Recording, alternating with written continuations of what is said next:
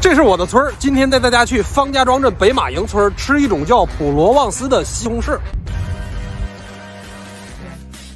啊，一进大棚就有西红柿的香味儿，我先来两个试吃一下。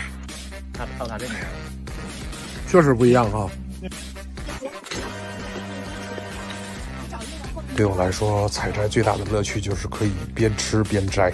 嗯，现在不用化肥，这主要是现在主要是这都是咱们农家粪，咱有牛粪、猪粪呢，是这个，完了种出来的口感特别好。啊，看啊，看这西红柿，看了吗？哎，看了吗？我咦！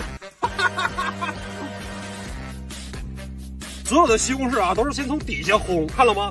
底下烘上一块儿，然后呢，把它摘下来，才会慢慢往上烘。如果你不摘的话呢，它的红的速度会特别慢，水分特别大，太好吃。